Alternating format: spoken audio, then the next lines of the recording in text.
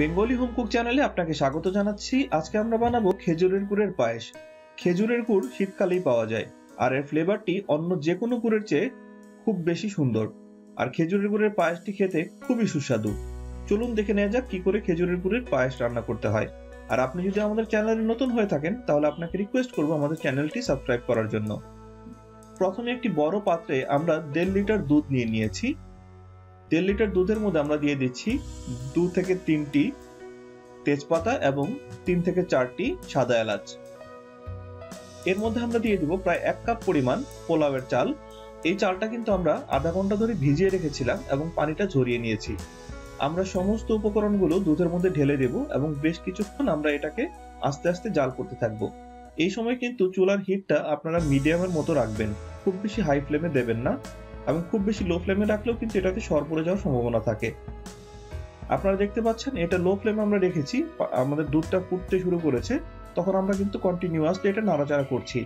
নাড়াচাড়া না করলে কিন্তু সর পড়ে যাবে এবং তখন কিন্তু পায়েসের মধ্যে সরগুলো থাকবে যা দেখতে ভালো লাগে না, খেতেও মজা লাগে না। তারপর এখান থেকে আমি বেশ কিছুটা গরম দুধ, আমরা খেজুরের যে গুড়টা তার মধ্যে ঢেলে নিচ্ছি। খেজুরের গুড়টা একটু স্টিকি এটা যেন ঠিকভাবে মিশে যায়। অনেক সময় খেজুরের গুড় দিলে দুধটা ফেটে যায়।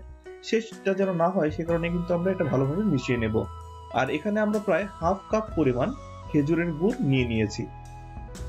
একটি বিষয় কিন্তু খুবই লক্ষণীয়, চালটা না ফোটা পর্যন্ত কিন্তু কোনো অবস্থাতে এতে গুড় বা চিনি দেওয়া যাবে না। আমরা একটু টিপ দিয়ে দেখছি যে চালগুলো কিন্তু কমপ্লিটলি ফুটে গিয়েছে।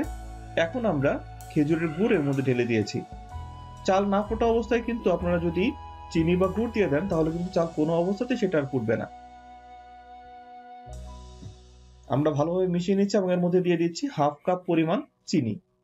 চিনিটা দিলে মিষ্টিটা বেশ করা হয় এবং চিনিটা আপনারা আপনাদের স্বাদ মতো দিয়ে নেবেন।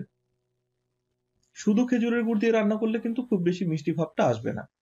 তারপর এটা কিন্তু কন্টিনিউয়াসলি নাড়তে হবে। এই সময় আপনারা কিন্তু একটু লম্বা স্প্যাচুলা দিয়ে ভালোভাবে নাড়বেন। এই সময় কিন্তু এটা ছিটে আসবে এবং গায়ে লাগার সম্ভাবনা থাকে এবং এটা কিন্তু কন্টিনিউয়াসলি নেড়ে যেতে হবে এবং এটা যতটা ঘন আপনারা পছন্দ করেন সেইভাবে আপনারা ঘন করে নেবেন। আমি পায়েসটা একটু ঘনই পছন্দ করি, তাই আমরা বেশ কিছুটা সময় এটাকে নেড়ে চেড়ে নিচ্ছি যেন এটা বেশ ঘন এবং থকথকে হয়ে যায়। এবং এটা নাড়াচাড়া শেষ হলেই কিন্তু আমাদের পায়েস রান্না শেষ।